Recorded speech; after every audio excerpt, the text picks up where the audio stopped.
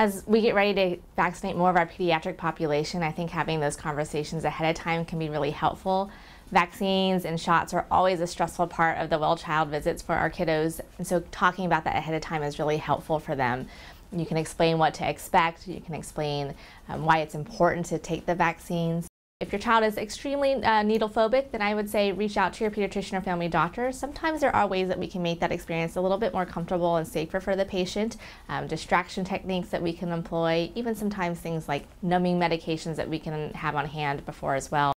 There is some data to suggest that taking something like Tylenol or ibuprofen before a vaccine may dampen that response slightly.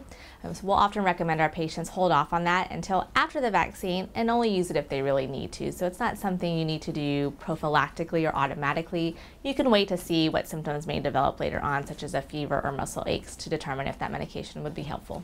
The COVID 19 vaccine, in a lot of ways, is no different than our other vaccines we have available.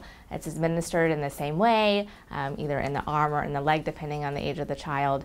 Um, the doses are appropriate for the age of the child as well. Um, there's no special follow up that has to happen after receiving a COVID 19 vaccine, and our side effects are quite similar to other vaccines, including fever, muscle aches, um, but most likely pain, redness, and, and swelling at the injection site.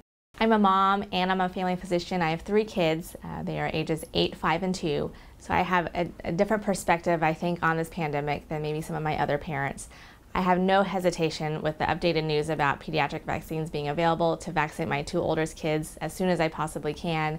I have the benefit and of, of, training and knowledge to know that vaccines are incredibly safe. We have so much background uh, research behind them. Um, I have hesitated not a second. Um, they'll get their vaccine as soon as they can.